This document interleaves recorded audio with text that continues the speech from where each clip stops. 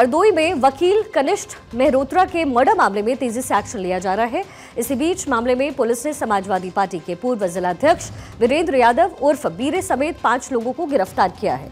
एक आरोपी को गुरुवार रात मुठभेड़ के दौरान दाहिने पैर में गोली मारकर पुलिस ने पकड़ा, जबकि बाकियों को उनके घरों से गिरफ़्तार किया गया।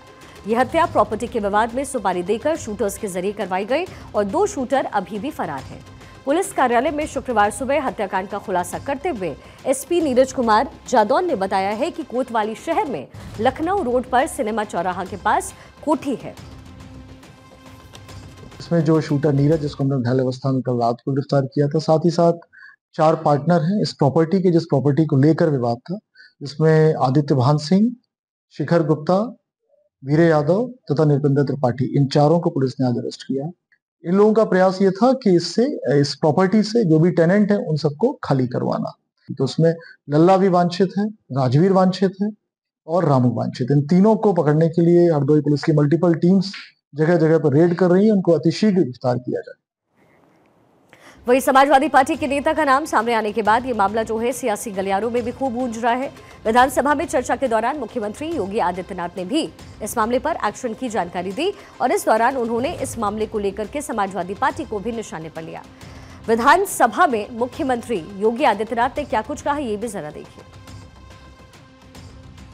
हरदोई में एक दुर्भाग्यपूर्ण घटना घटित हुई और हरदोई में घटित दुर्घटना में भी बेरे उर्फ़ वीरेंद्र यादव, इस समाजवादी पार्टी का पूर्व जिलाध्यक्ष है।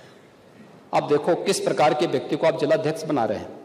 इस पे आईपीसी और सीआरपीसी की कोई ऐसी धारा नहीं जो इस पे लगी हो। 28 ऐसे मामले लिप्त है, समाजवादी पार्टी का पूर्व जिलाध्यक्ष अधिवक्ता की हत्या सरेआम इसके द्वारा करवाई गई है। और इस प्रकार के अपराधियों को आप कहते हैं साहब गोली मार रहे हैं। क्या माला पहनाएँगे क्या?